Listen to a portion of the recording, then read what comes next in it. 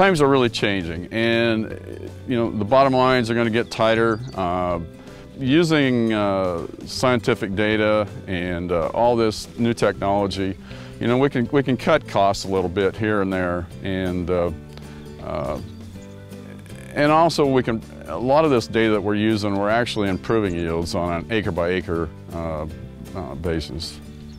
Just like with any other operation, technology is moving forward and you have to keep up with it if you expect to stay, stay profitable in the business.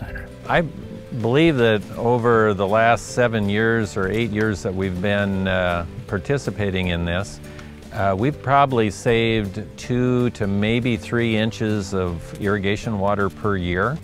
And so that, uh, that saved us twelve to $1,800 a year versus what we did 10 years ago. Uh, future goal is to incorporate additional technologies, more wireless technology, more wireless you know, soil moisture sensing technology, crop monitoring technology, and we have several projects on that.